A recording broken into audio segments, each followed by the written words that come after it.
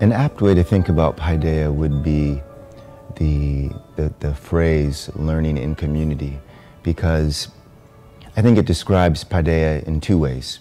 One, it describes what happens on a daily basis in section, where you have 18 students helping each other explore, interpret, and make sense of a common reading.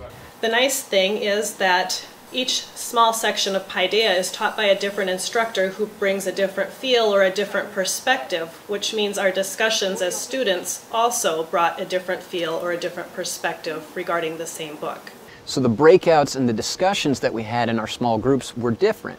So we were able to, based upon those small groups, then go back into our dorm rooms or study groups or whatever it happened to be and talk about what our uh, professors talked to, uh, to us about, what we talked about in those groups.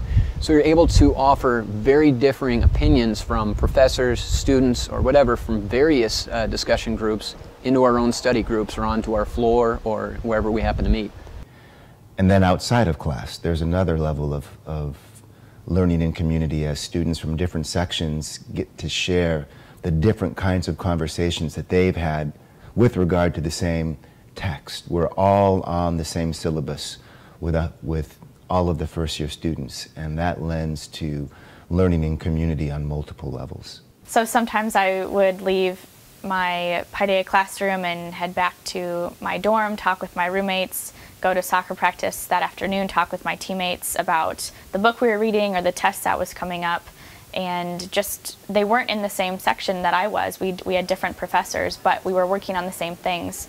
And so that aspect of the Paideia course reinforces the close knit community that is Luther College. Um, so I had some students come to me after class and they said, Professor Kildegard, we were sitting eating breakfast and we got into this big argument about the book we're reading in Paideia.